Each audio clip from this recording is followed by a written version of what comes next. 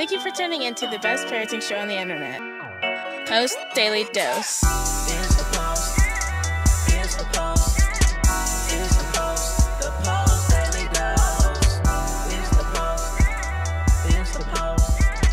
Here's the post. The post daily dose. Here's the post. Here's the post. Hey there. Happy Sunday, everybody. This is Kristi Saul, the co founder of the Post Institute, coming at you live straight out of church. I do hope that you guys are having an incredible day. Um, because I, uh, I hope it's contagious because I'm having an incredible morning so far. Um, so, uh, here's something a little interesting. You know, before I, well, before I go to church and before I come on here, I'm always praying because I want to, you know, I want to make sure that I'm that I'm getting myself out of the way. And so um, that was actually part of our message today. Uh, but before before service, before all of that, I pulled out my notebook, and you know, I never know what notebook I'm going to end up grabbing on the way out the door because I take notes. And sometimes I take notes just because by taking the notes, it helps me to remember. It helps bring knowledge into my being. Um, and sometimes I never go back and relook at the notes.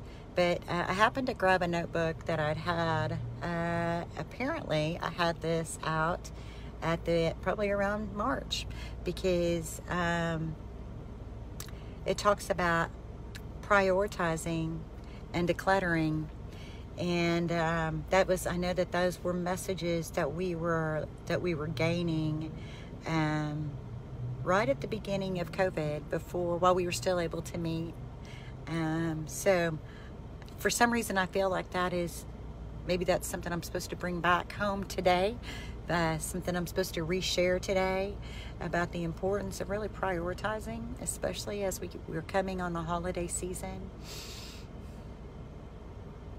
to really think about the things that we're really grateful for.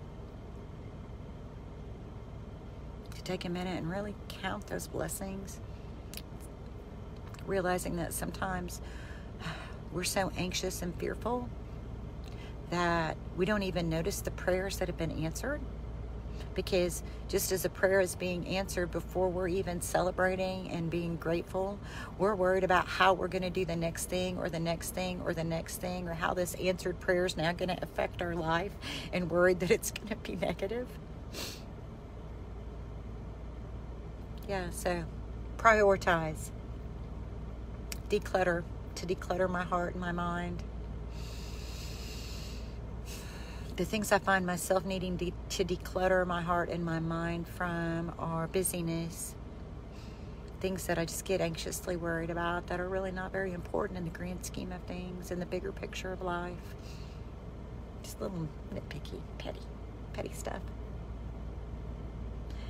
Your faith, not to rest in the wisdom of men, but in God. Hmm. Let's see what else I find in my little in my little treasure trove here. Don't pray the threat away. Oh my goodness. Hmm. Makes me think about how um, the first time I heard somebody talking about um, the idea of uh, praying our own agendas or praying certain things away versus praying for boldness, praying, praying for stamina, because you don't always know when you might be praying somebody or even yourself out of part of your purpose. Hmm. That's a big deal, isn't it? That's a big thing. So today's message was about faith and humility. And how that, t- in my mind, I just picture that tying right in because I think about how much, um, how many times I've been in, in the way of my own growth. I've been in the way of my own blessings. I've been in the way of of um, creating a pathway for my child because I kept things in my hands as opposed to just turning it over to a higher power, turning it over to to love, turning it over to healing and to find my way in the flow. And if I do that, if I pray if I pray people out of their blessings, then that also could mean I'm, I mean, out of out of their purpose. That could also mean I'm praying myself out of my purpose. If I start praying for all of this stuff to go away, because part of my purpose is to guide my child. It's interesting how simple and complex it is all at the same time, isn't it? It's kind of like that statement that just because something is hard doesn't mean it's bad. Hard does not mean bad. It could just mean hard. So I just find myself today feeling extremely grateful. Um, I feel so grateful. I have so many, so many things, so many blessings I can count. And I find myself praying. Honestly, I pray. Here's one of my prayers right now that I don't go back to walking in my wounds. Because when I first started really, really getting faithful and full of faith, faithful meaning full of faith, full of belief, full of hope, full of love, not from myself but through God. Um, I was walking in my wounds. I was depressed, deeply depressed. Um, I was, I was tripped up in some very adolescent and collegiate type behavior because of some, you know, when we stress, we regress. I regressed to a very wounded place. Thank God I didn't stay there forever. But I find myself now praying for that same eagerness, for that same desire, for that same burning fire in my spirit, uh, because I don't want to go back. You know, I don't want to go back to walking in my wounds in order to be on fire. So um, that's a, you know, that's just a big deal. So I don't really know. I don't, um, I think maybe I'm just sharing this because we're all human. We're all human. And how does this relate to parenting? Well, how we're walking our life as adults, uh, our children are watching all the time. So I know when I was walking in my wounds, when I was actively depressed, uh, when I was really struggling with being a mature adult versus slipping into some adolescent and immature places, I know that that affected my daughter because I'm the leader of our family. So I have responsibility. I remember even saying to Bryan, I think she might be a little bit depressed. And he said, Well, I think somebody probably is. So I find that first I'm just so, that makes me sad because we were there.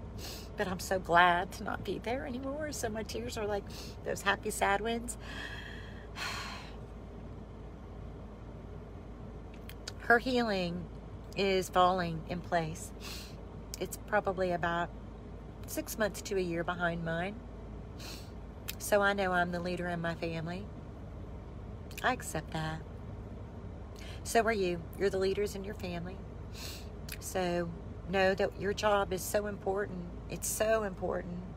What you do day in and day out to take care of yourself, what you do day in and day out to take care of stress, to manage your stress, what you do day in and day out regarding your beliefs and your faith and stepping in love are all things that are teaching every minute of every day. And we are all human. So this isn't a message about about anything other than that, that we're all human. And um, for people who are believers, um, you know, when you, I just, I really want to encourage people to believe, to believe in the power of love. Uh, if if talking biblically and scripturally creates anxiety because of church hurt or because of things that you've seen people do to other people who claim Christianity, just always remember God is love. So when people talk about God, you just put love in. You just put love in your mind. You just, you know, substitute it. Substitute it because um, love is the most amazing, powerful, healing source that we know. So, wow, much love to you guys. I pray that you have a beautiful day today. Enjoy the remainder of what's left of this beautiful Sunday. Just take a minute to count your. Look around you and see all the things that you prayed for and hoped for. And take a minute to just celebrate that, to celebrate the goodness of that, and to trust and believe that if those prayers are answered, then there's other prayers right around the corner, and that uh, that ways can be made. Ways can be made. I know that uh, when we're raising children who come from tough places, when we have our own tough places, it can feel like it's forever. It can feel like it's going to be here forever, that pain, but it will it will pass. It may be a day, it may be a moment, it may be a day, it may be a week, it may be months, but like clouds, it can pass. So I hope there's something in there that's hopeful, encouraging, edifying. I hope that you take a minute today and just look at your babies, look at your spouse, look at your friends, look at the people that you are in this world with, walking with, and that you just notice.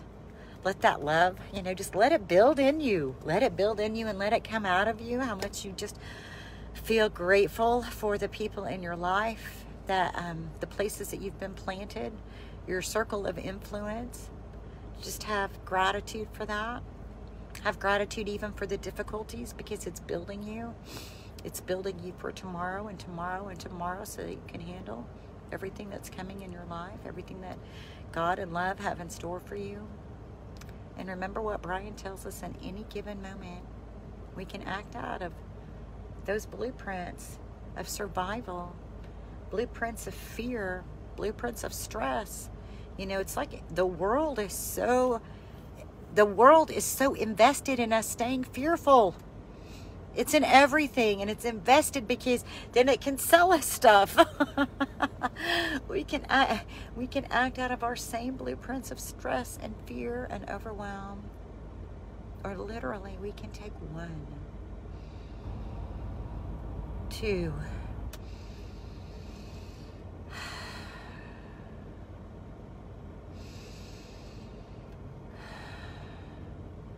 three deep breaths and we can feel the calm enter our mind and we can choose love. Much love to you guys. I hope you have a fabulous day.